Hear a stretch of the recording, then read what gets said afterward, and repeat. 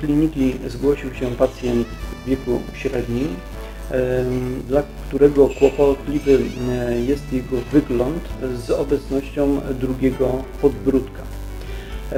Jest to spotykane u wielu osób, niezależnie od płci, jest zależne od zmian, zmian wagi ciała, procesów starzenia, ale również wpływu wielu czynników zewnętrznych.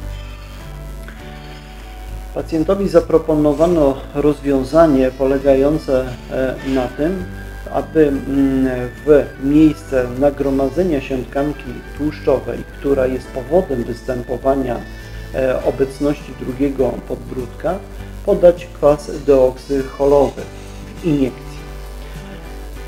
Takie rozwiązania przyjmuje się u pacjentów, gdzie mamy nieduże nagromadzenie tkanki tłuszczowej w okolicy podbródka, u pacjentów, którzy nie kwalifikują się do zabiegów e, operacyjnych oraz pacjentów nieakceptujących zabiegów operacyjnych.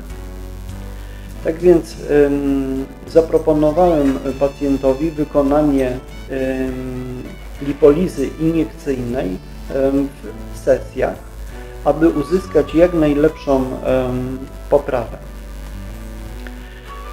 Samo podanie leku poprzedzone jest oczywiście badaniem lekarskim oraz badaniem USG potwierdzającym obecność e, nagromadzonej tkanki tłuszczowej. Podczas badania mierzymy objętość tej tkanki, jej położenie i obecność innych struktur anatomicznych znajdujących się w okolicy podbródka. Po kwalifikacji do e, zabiegu i uzyskaniu zgody e, pacjenta na wykonanie tegoż zabiegu e, zostaje on przeprowadzony w klinice.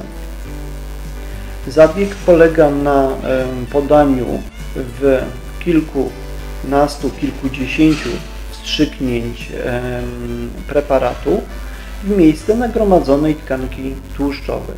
Zabieg nie jest bolesny, E, a e, miejsce, które podawany jest kwas deoksycholowy, zwykle na samym początku nieco e, brzęknie i nie stanowi to raczej jakiegoś wielkiego problemu.